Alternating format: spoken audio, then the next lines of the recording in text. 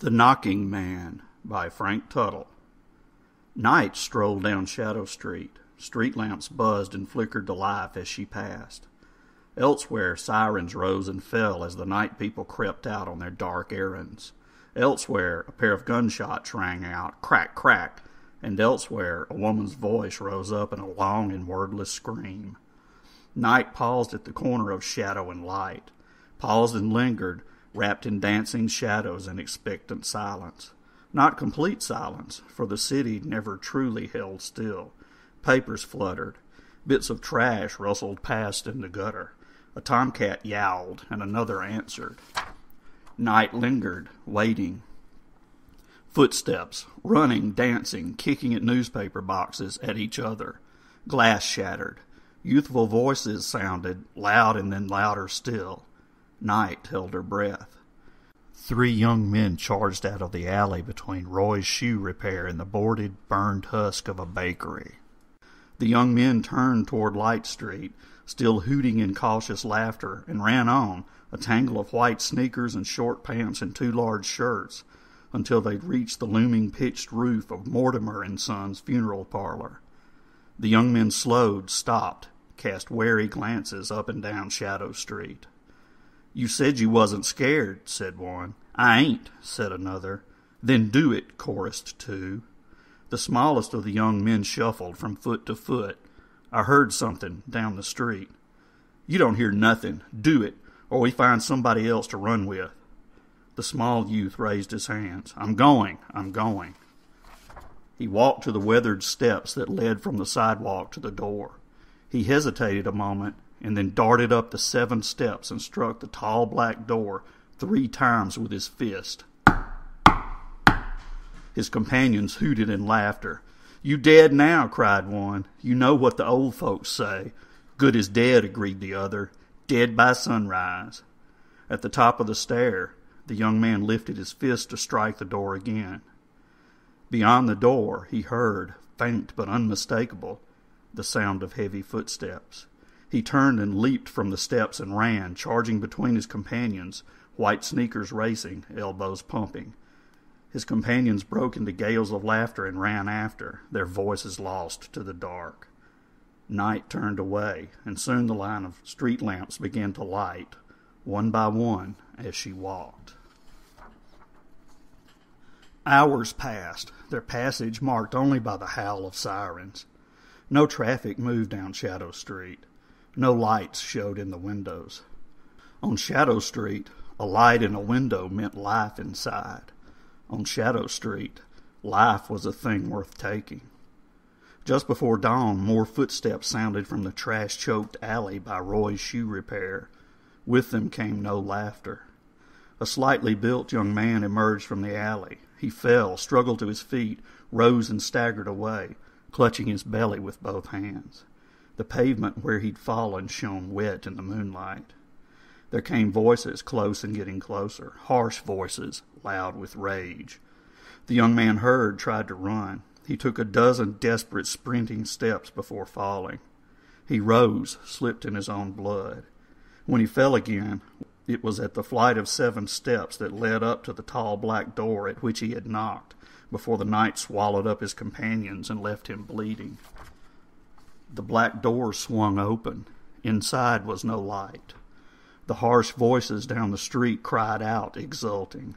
The young man heaved himself onto the weathered steps and crawled, the pain in his gut swelling, threatening to tear him in half. One step, two. Someone shouted. Three steps, four. The young man's vision faded. His heartbeat sounded like rapid fire thunder in his head. He felt his life draining away in time with his pulse, leaking past his fingers, making the steps slick beneath him. Five, six. Someone threw a brick, striking his back. Seven. He clawed his way up the last step and thrust his bloody right hand over the threshold of the door, where the dark inside hid it completely. He rose. There may have been hands under his arms, pulling him up and forward but the pain blossomed inside him, and his thundering heart gave way, and what was darkness became a sudden brilliant light that caught him up and took him away from the steps and the blood and the pain. The last thing he heard was the unhurried closing of the tall black door.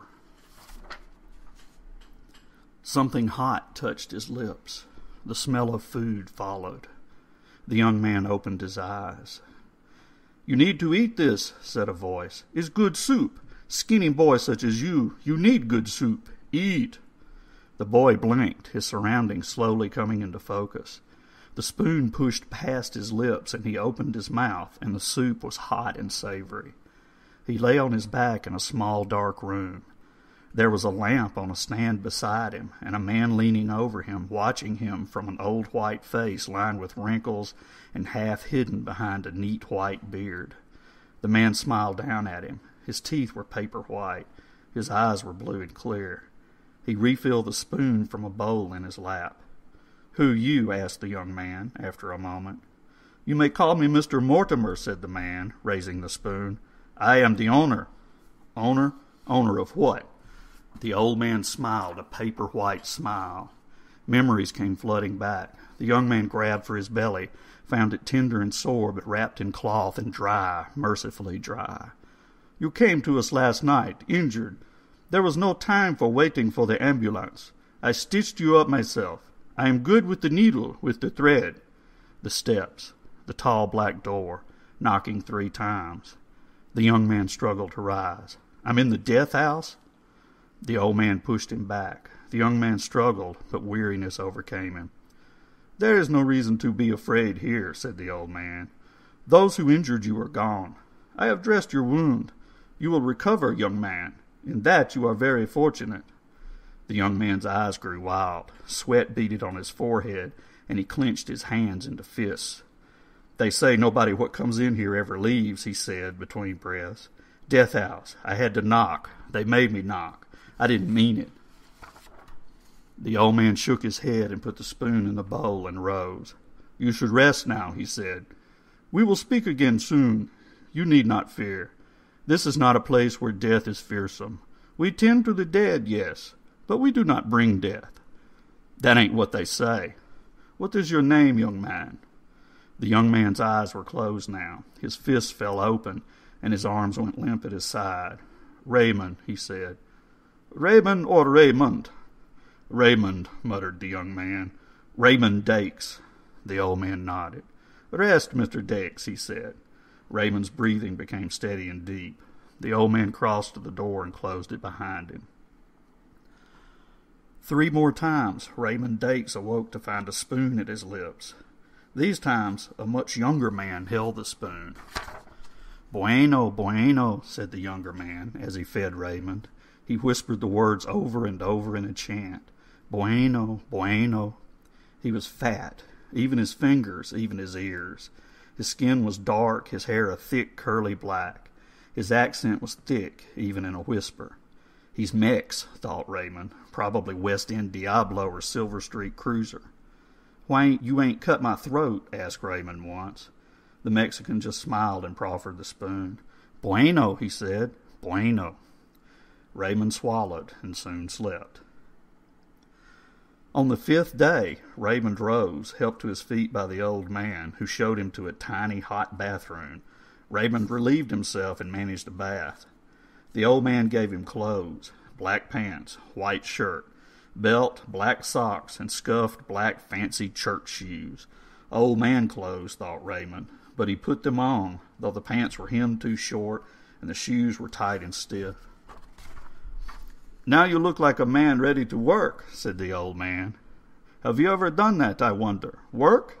Ain't no jobs here, said Raymond, his eyes wary. The door behind the old man was shut. But was it locked, he wondered. The old man laughed. I tell you before, young Raymond, there is nothing to fear here. If you want to go, you go. I will not stop you. Roddy will not stop you, although I hope you stay. We need a new knocking man, you see and you'll have the look of a good knocking man. Roddy? Who's Roddy? Raymond measured the distance to the door. Four steps. Mr. Rodriguez. He works here too. He prefers to be called Roddy. He tended to you. Perhaps you remember, yes? The Mex? The old man shrugged. I do not know Mr. Rodriguez's background. He speaks very little, but he is hard worker and a gentle soul. You treat him nice, you hear? The old man watched Raymond's eyes. He stepped suddenly aside and waved his arm at the room's single door. As I said, you may leave. Consider the garments a gift. Return to the street if you will. Raymond took a step. I wish you luck, Mr. Deggs, because I tell you this plain, young man. Out there is death, brutal and swift and sure. You know the truth of this, do you not? I ain't dead yet, said Raymond. No, and in that lies your hope. Stay, work. You will be paid a decent wage, given a roof, given a bed. The food is plain but plentiful. The old man beckoned toward the door. The choice is yours, Mr. Deggs. Stay and work. Go and die. Perhaps not tonight, perhaps not the next, but soon. You know this, yes? Raymond felt his wound ache, remembered the terrible moment the knife bit into his belly remembered Little Joe falling, TJ coughing blood. The door beckoned. But beyond it, what? Raymond sagged. What I got to do, he asked. What kind of work? The door opened and the Mex stepped through it, smiling, a bowl of soup steaming in his hands. Bueno, he said, in a tone that said hello. Bueno! Despite the aching in his gut, Raymond Dakes found himself smiling. The old man is wrong about Roddy, thought Raymond. He talks all the time, just the same word over and over. Bueno, said Roddy, as he scrubbed the floor in the death house's cramped embalming room. Bueno, bueno, bueno. He ain't talking, Raymond realized. He's singing. Raymond recognized the tune, a dance song two summers old, something about girls in Cali.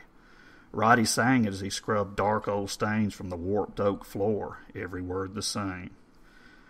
Raymond helped, though the wound kept him from doing more than a few half-hearted brushstrokes at a time. Roddy didn't seem to mind doing most of the work. Simple in the head, thought Raymond. Must have sampled one too many hits of that West End crack. The death house was quiet, aside from the scrub, scrub, scrub of the brushes and Roddy's sing-song voice. Raymond listened for shouts or curses or the thump of passing car stereos, but the sounds of the city seemed to falter just beyond the death house walls. Roddy pulled up his long sleeve to dip his brush into the soap bucket. Raymond glimpsed the Mex's chubby arm. There was a long coiling tattoo, nearly obscured by hundreds of raised round scars. Burn scars, from cigarettes held against flesh until it bubbled and broke and bled. Roddy saw Raymond wince and pulled his sleeve back down. The Mex was silent for the rest of the day, and he did not smile until the old man called them to the kitchen for supper. Another week passed while Raymond healed. The death house fell into an easy routine. Wake and dress, shirt buttoned, shoes shined and tied. Breakfast was two eggs, three strips of bacon, and two fat biscuits with grape jam. Raymond couldn't remember ever having breakfast, not at a table. Not a breakfast that woke him with the sounds of bacon frying and eggs cracking and oven doors creaking. Aunt Mavis didn't cook. After breakfast, work, which might mean scrubbing floors or washing dishes or ironing the dark clothes in the closets. Raymond wondered why the shirts fastened up the back until the old man explained that it made it easier to dress the dead. It was the dead Raymond never saw. The hearse parked behind the death house never once went to fetch a body to be dressed in the back buttoning shirts. No one knocked at the tall black door. Raymond looked up at the realization. Roddy smiled at him, an old fashioned feather duster clutched in his pudgy right hand. Roddy, said Raymond. Roddy tilted his head. You ever hear knocking at that door? Bueno, said Roddy, with a hint of confusion. Bueno? Knocking, said Raymond. You know, like this. Raymond rapped on the wall three times. Roddy threw his duster down and charged out of the room, slamming the door and howling as he ran. Raymond dashed after, calling his name. Boys, boys, cried the old man, emerging from the embalming room. What is this? Raymond, what have you done? Raymond heard the back door rattle as Roddy pulled at it. The old man shook his head as he too heard the rattle of the chains that held the door fast, and he motioned for Raymond to follow. They found Roddy straining to open the back door against the chains. Bueno! cried Roddy, his face split with a smile. Bueno, bueno, bueno! The old man laid his hand gently on Roddy's shoulder. You made a knock for him, you did. Raymond, wide eyed, nodded yes. I was just asking what we do if somebody comes in and wants in, he said. I didn't mean to make him crazy. I and I alone opened that door, Mr. Dex. Not you, not Mr. Rodriguez. Do you understand that? Yeah, said Raymond. Yes, sir, he amended. Good. What we do about him? The old man shrugged. He will soon forget. I wait with him. The old man regarded Raymond for a long moment and then smiled. You are feeling better in your gut now, yes? Yes, sir. Good. There are keys in the bureau by the desk book. Three keys, all iron. One for the shed out back. Unlock it and find tools. Another unlocks the cemetery gates. Go there. The weeds have taken over. Trim them. Yes, sir. The old man shook his head. This is no punishment, young man. It is another job that needs doing. Roddy is better working inside. But you will learn to like the work, I think. The old man's grin widened. We'll make a knocking man of you yet. Roddy motioned Raymond forward with his hand, still pulling at the door.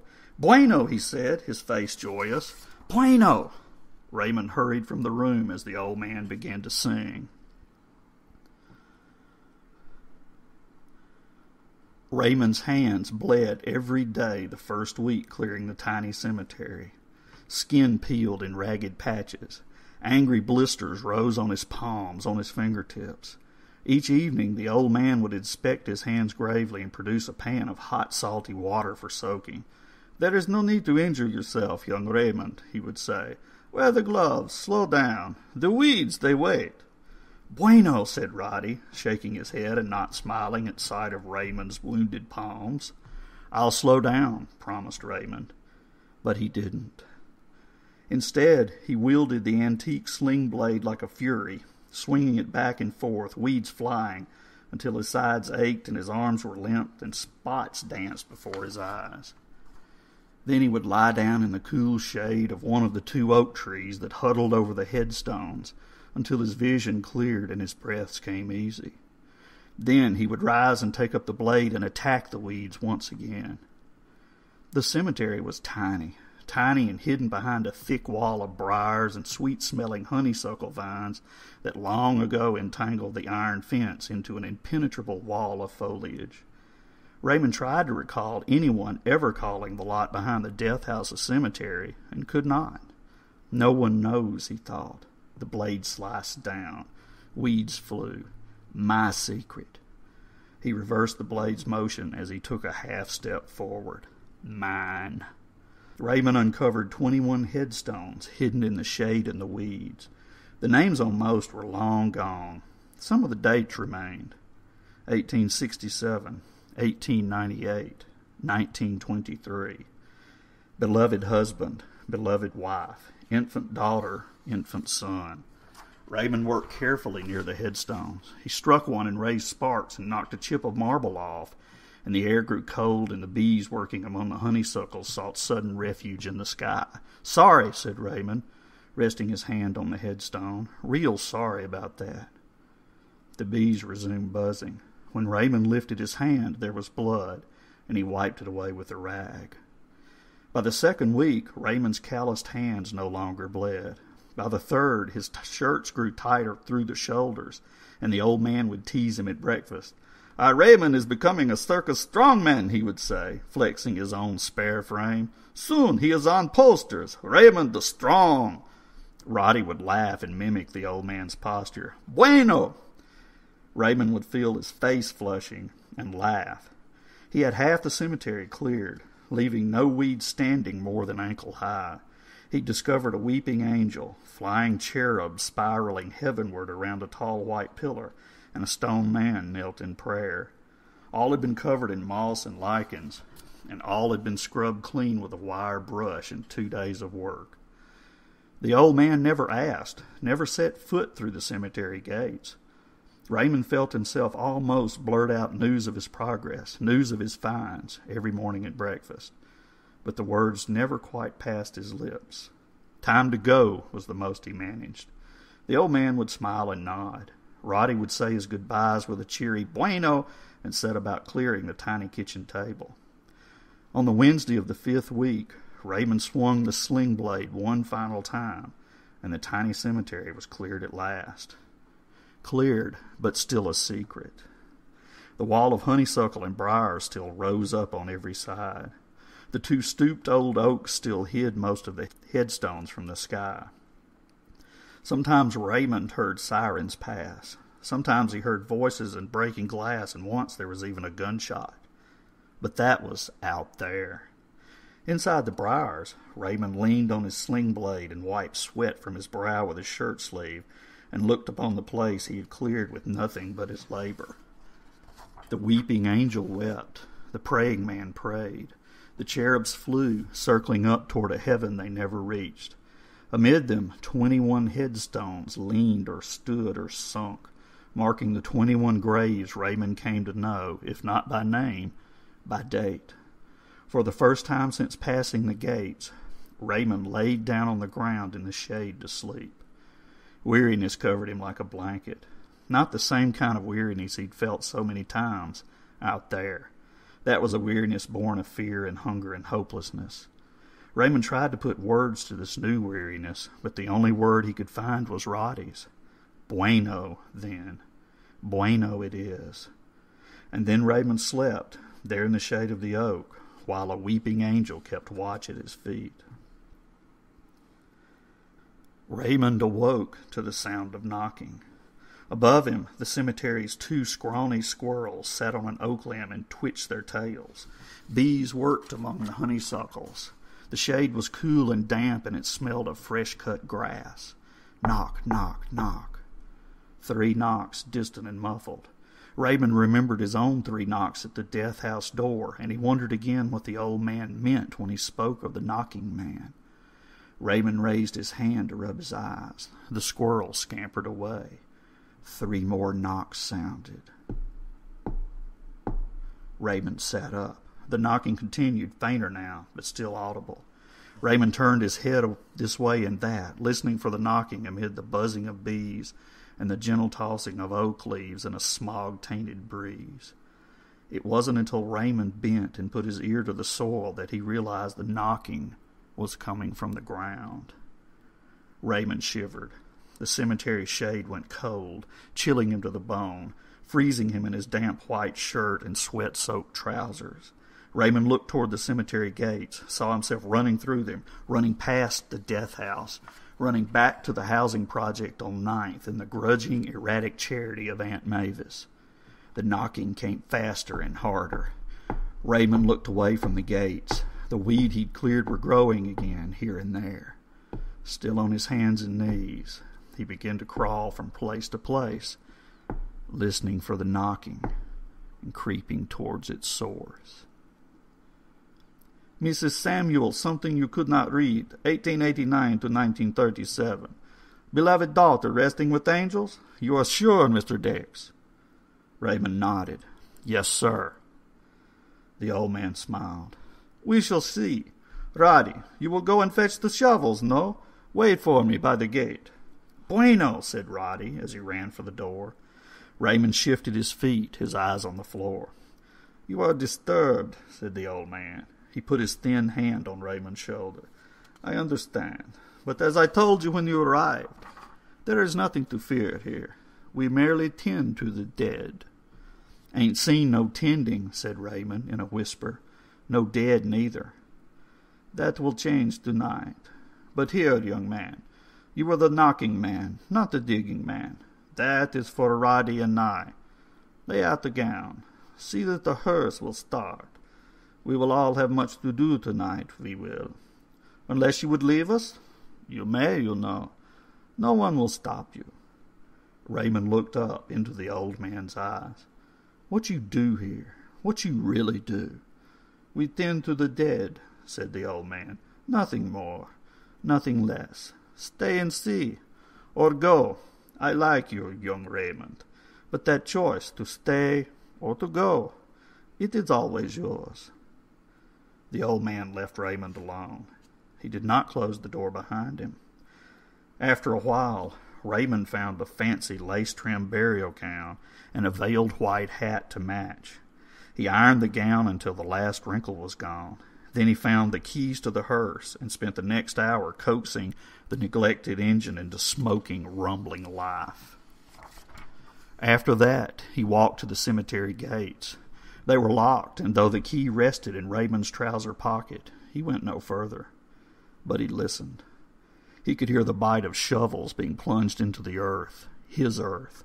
He could hear the thump of fresh dug dirt as it was dumped onto the ground. He could hear Roddy's merry sing song streams of buenos and the old man's voice as he urged Roddy on. Much later, when the sky was going dark and the street lights began to flicker and hum, Raymond heard a shovel strike something solid. Careful, careful, said the old man. Hold your shovel flat, uncover the lid, like this. We are nearly done. Raymond turned and ran, where he didn't know, for six panic steps. But the tall black door beckoned, and Raymond followed, his heart pounding like he'd once again seen the glint of a knife in the moonlight. Raymond sat at the kitchen table and cut weeds with the sling blade in his head. He felt the weight of the smooth oak handle in his hands. He felt the blade slice down, felt it bite grass, felt it tug and slice and clear a swath of ground. His ground. He heard the sound of the blade, snick, snick, heard the little grunt he always made on the downswing. Uh. He heard anything but shovels, anything but digging. I was a young boy in Budapest, said the old man. Raymond jumped, grabbed involuntarily at the blade he wasn't holding. He hadn't heard the door open, hadn't heard footsteps. A poor boy like you. Bad part of town. These gangs, you think they are new? Bah! The old man pulled back a chair and sat. Raymond didn't look him in the eye. There was a cemetery, said the old man. People called it Atkozat Halot. Curse it. They say these things of this place. No? Raymond didn't answer. One night I am chased. One night, Mr. Dakes, I am wounded. I crawl into a crypt in the Atkozat lot. I hide there. I hope those who wounded me dare not follow. Do you know what happened to me there, Mr. Dakes? Raymond shook his head no. I saw a dead man walk. The old man shivered. First he rose. I was, how you say, tough kid, young Raymond. Still, I void my bowels, beg for mercy. I am not ashamed. Dead don't walk, said Raymond. This man did. He walked and more. The gang who wounded me followed me into the cemetery, Mr. Dakes. They were not frightened by the old stories, but they found fear, they did. The old man's face was grim. To the last. Can't be, said Raymond. Can't be. It is, said the old man. Later I learned, as you were doing, that some few of the dead cannot rest. There are many reasons. That is not our concern. Our concern is tending to them until they rise and walk no more. You crazy. I said much the same. Mr. Rodriguez.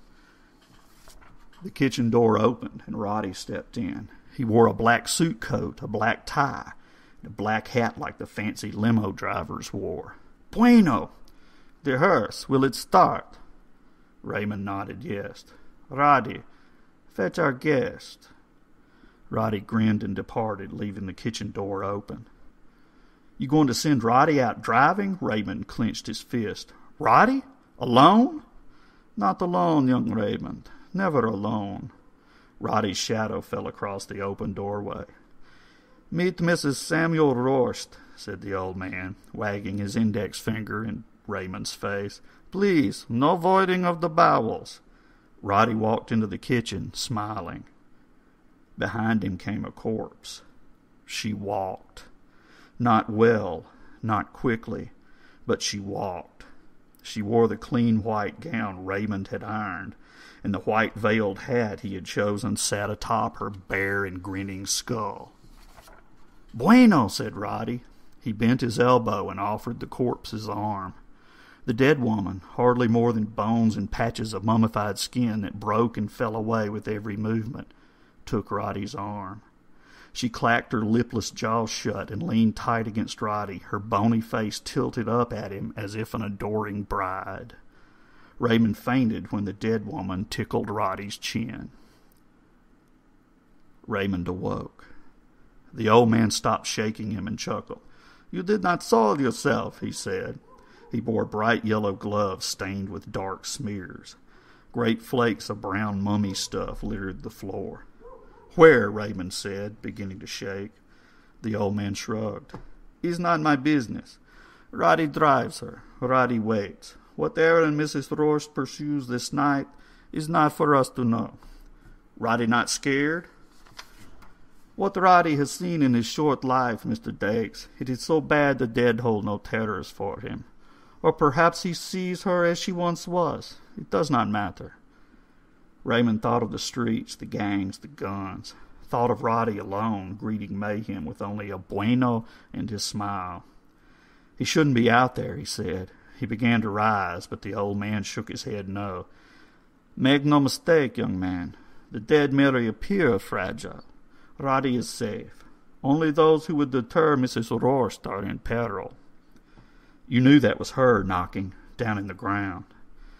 I did not. I could no longer hear them. Too old.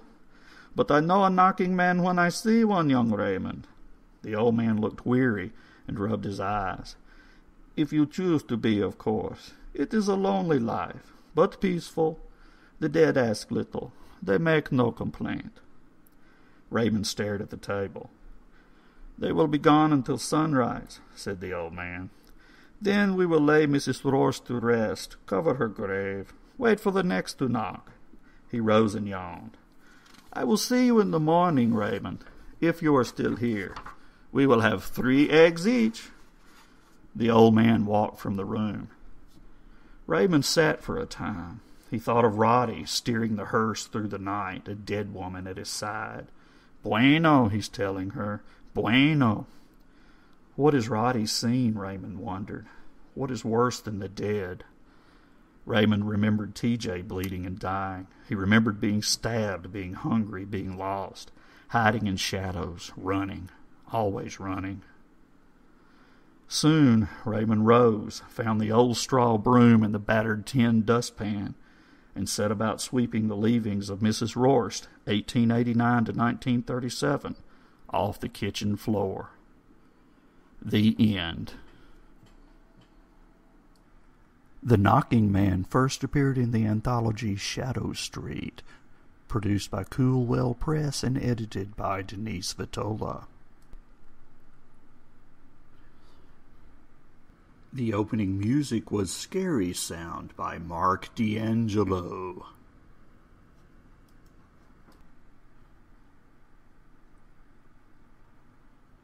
Happy Halloween!